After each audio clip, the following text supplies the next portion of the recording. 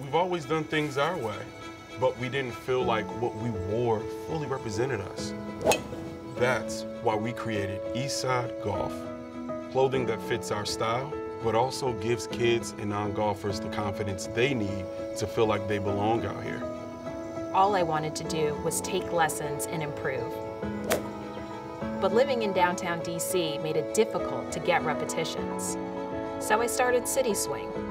Our indoor studio makes the game more accessible and welcoming to everyone. Learning to golf was intimidating.